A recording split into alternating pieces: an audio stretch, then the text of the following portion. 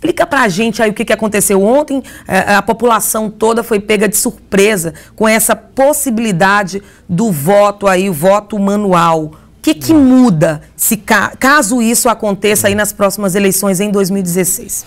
Não, o que ocorreu é que o governo federal, é, nessa situação de crise porque o país está passando, resolveu contingenciar mais de 10 bilhões de reais, sendo quase 2 bilhões referentes ao poder judiciário e mais de 400 milhões seriam atinentes à justiça eleitoral.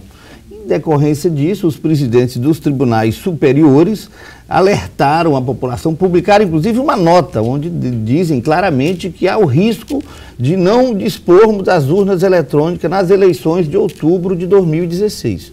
Segundo o presidente do TSE, está em andamento um processo licitatório para adquirir mais milhares eh, de urnas eletrônicas e precisaria de 200 milhões. Como o corte foi de mais de 400 milhões, haveria esse risco iminente de não dispormos da urna eletrônica e temos que voltar a, a, a, votação manual. E temos que retroagir, né? poderia dizer isso, porque a votação manual ela demora muito, até mesmo para ser computado o resultado de uma eleição, por exemplo, que saía no mesmo dia, né? depois, horas depois de, de, de terminado todo o processo, agora pode durar até dias, pode demorar por exemplo, 24 a 48 horas, um grande retrocesso, sem dúvida, hein? É, mas eu acredito que isso é mais um, um risco.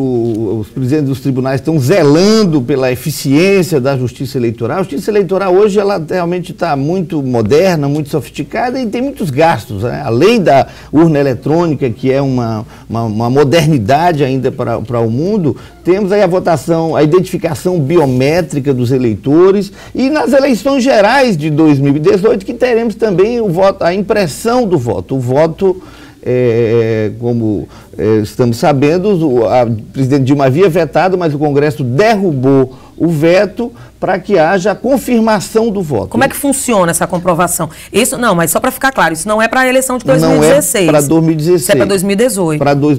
Para a primeira eleição geral após a, a, aprovação da lei, portanto, só em 2018, quando a eleição geral para presidente, governador, deputado e senador. Como é que o que, que como Haverá é que fica, então? a impressão do voto.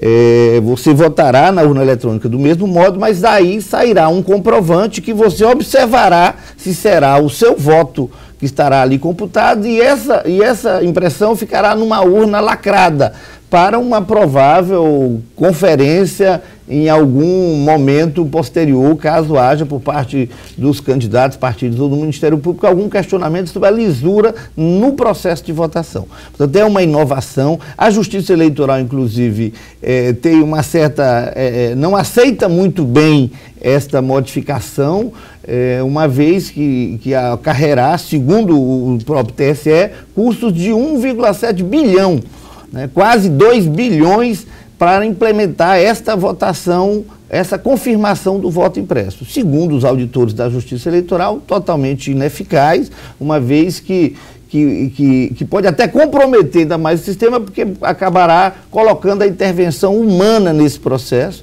quando que com a urna eletrônica, segundo eles, tudo fica devidamente registrado, tudo é aferido, é, auditado e conferido por todos os, os, atores políticos eleitorais envolvidos. Sem a urna eletrônica, o que, que de fato então muda? A gente sabe que muda praticamente tudo, ah, né? Agora, sem a urna eletrônica, tudo fica mais complicado, né? Pois é, eu acredito que isso é, tenha sido mais um alerta de, do risco que, desse contingenciamento e as dificuldades porque o país está passando. Eu acredito que, que isso não ocorrerá. Entretanto, ocorrendo é algo, é algo é, é, é, impensável. Eu penso até, por nós já estarmos desabituados à votação manual, que ela poderia ficar até mais cara, porque haveria que ter, ser refeito todo o processo de votação. Acho que isso é impensável, é mais um alerta, é mais uma preocupação do presidente do TSE. É, ele mesmo ontem à noite, já em Manaus, já relativizou um pouco, já ponderou um pouco, dizendo que estará conversando com o Congresso Nacional para é, é, conseguir recursos suplementares de tal forma que não haja esse risco da não utilização da urna eletrônica, que é sim um procedimento, uma urna eletrônica, ela é, custa em torno de 900 dólares. Então, para você ter uma ideia, hoje o Brasil dispõe de quase 500 mil urnas eletrônicas. E, segundo ele, quando houver a impressão do voto, como haverá uma demora maior no processo de votação, terão que ter mais sessões eleitorais e o Brasil precisará de quase 850 mil urnas eletrônicas e que, quando houver o voto impresso, terão que ser acompanhadas de impressoras.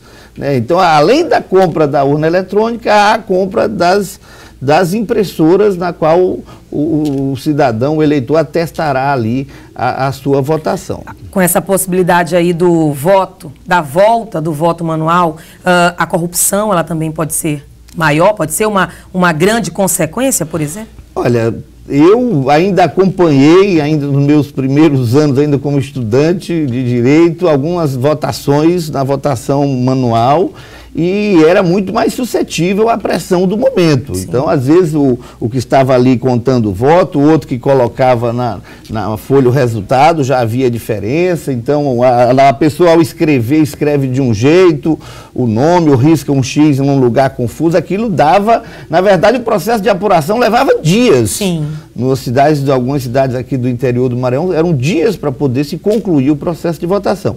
E hoje o Brasil tem um sistema altamente moderno, onde poucos instantes depois de concluída a votação, já se sabe o resultado em todo o país. Portanto, nós esperamos que, que, que, o Brasil, que não haja esse retrocesso, mas que haja avanços. Nós temos que ir para frente. O Brasil está em crise, a situação é difícil, mas nós precisamos é garantir ainda mais a lisura do processo eleitoral, com mais rapidez, com mais eficiência e que o povo realmente possa ter a sua vontade manifestada de forma correta.